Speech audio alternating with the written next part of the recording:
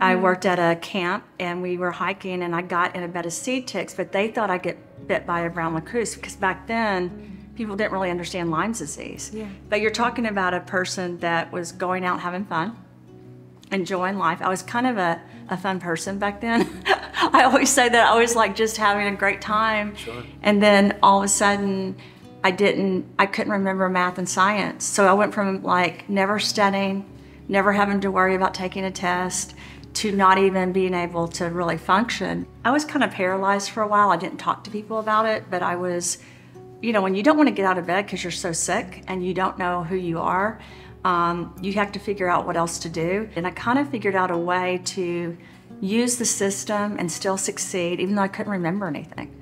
And I was able, I can't believe this, but I was able to actually pass my classes in college and do fairly well, but not understand what four plus four was.